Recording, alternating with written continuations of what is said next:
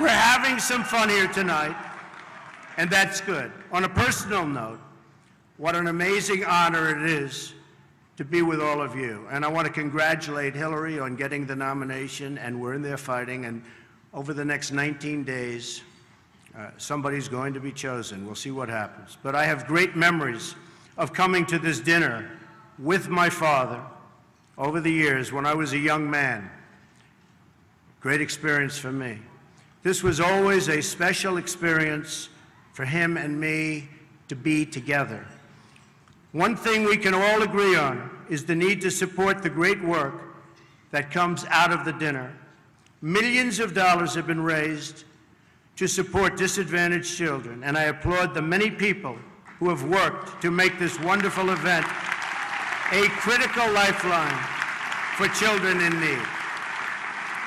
And that we together broke the all-time record tonight is really something special. More than six million net, net, net. The Cardinal told me that's net, net, Donald, remember. We can also agree on the need to stand up to anti-Catholic bias, to defend religious liberty, and to create a culture that celebrates life. America is in many ways divided.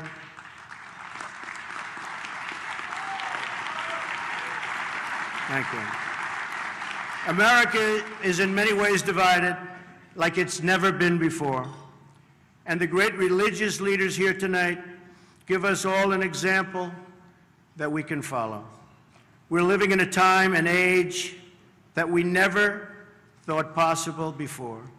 The vicious barbarism we'd read about in history books, but never thought we'd see it in our so-called modern day world. Who would have thought we would be witnessing what we're witnessing today? We've got to be very strong, very, very smart, and we've got to come together, not only as a nation, but as a world community. Thank you very much. God bless you, and God bless America. Thank you.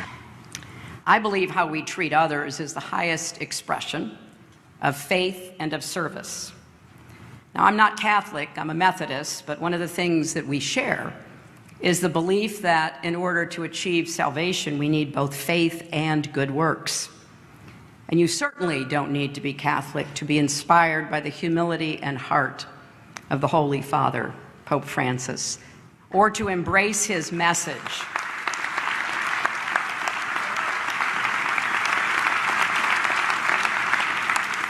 His message about rejecting a mindset of hostility, his calls to reduce inequality, his warnings about climate change, his appeal that we build bridges, not walls.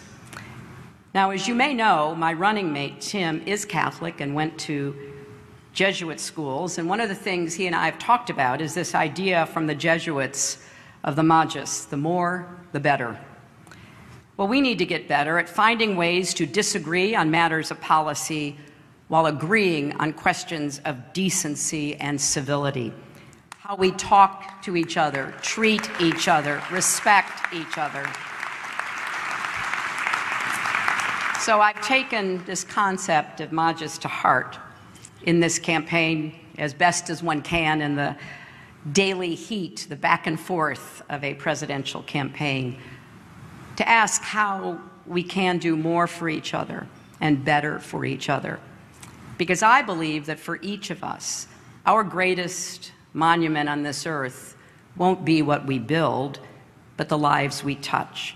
And that is ultimately what this dinner is all about. And it's why it's been such a great honor to join you all again. Thank you.